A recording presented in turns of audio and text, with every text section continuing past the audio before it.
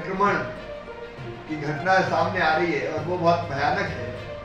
जो सुना है आपको जो इफ़ेक्ट होता है, बाकी जो प्रभाव होते हैं, किसी का तो पूरा जबड़ा ही निकाल देना पड़ा, आँख निकालनी पड़ी। ये मेरा चिंता का विषय है।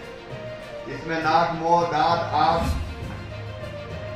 मस्तिष्क और बाकी अंग भी संक्रमित हो जाते हैं। और अभी तक 50 रोगियों की पुष्टि अब तक हुई है पूरे प्रदेश में।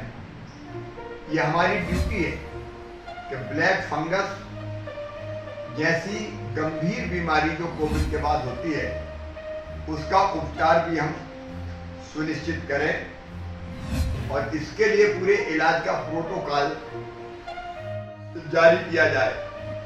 इस बीमारी के कारण क्या है, लक्षण क्या है, निदान क्या है, इलाज क्या है, सावधानी क्या रखी जानी चाहिए। इलाज के प्रोटोकॉल के अनुसार उपचार सुनिश्चित किया जाए। उपचार महँगा भी होता है, इंजेक्शन महँगा लगता है।